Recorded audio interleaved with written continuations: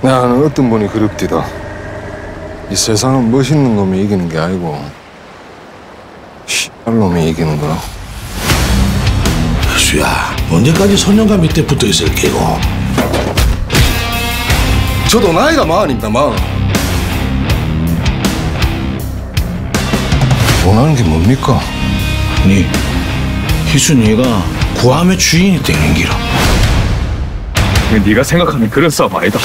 안 가. 이거 그냥 개싸움이지. 싸움은 망설이는 놈이 튕기다. 지금 영도 양아치 하나도 안 무섭습니다.